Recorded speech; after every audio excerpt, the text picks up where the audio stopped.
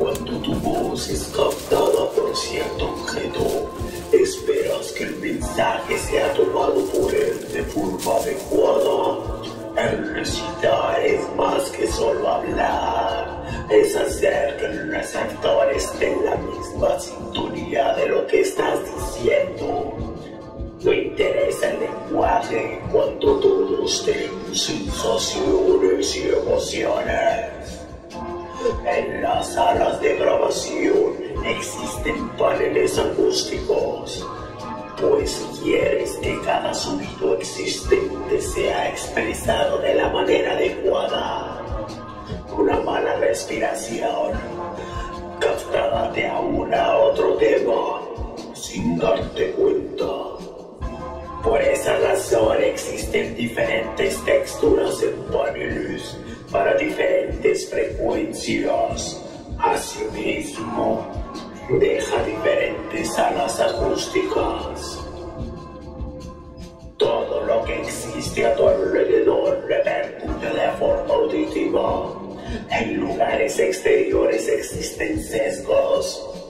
Ese sonido agudo que hace bucle en tu cuarto, que desaparece si pones un mueble. En el exterior no puedes desaparecer un sesgo agudo creado por el aire y la forma del lugar. Pues el roce del aire y el objeto en realidad está creando una textura auditiva. Todos quieren tener control de todo en su mezcla y master. ¿Cuántos utilizan de manera que tu sonido sea llevado a donde quieres sin anularlo? Es como utilizar una cámara de reverberación. Todo lo que crees que es un fallo en tu grabación, en realidad es un lugar en el espacio. Todo es parte de ti. Porque le escuchas y te hace llevar a lo más recóndito de tu ser. No es un error. Si te gusta estar contigo, te gustas con todo lo que conlleva estar ahí. Cuando te encuentras en el espectro sonoro, te escucharás hasta lo más pequeño. ¿Cómo explicarlo?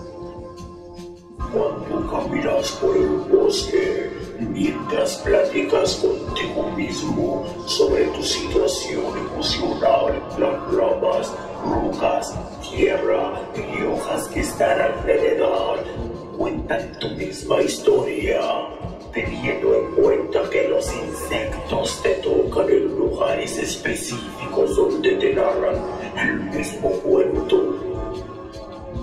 Claro está que si eres bienvenido así puede ser, no te vayan a llevar a un destierro.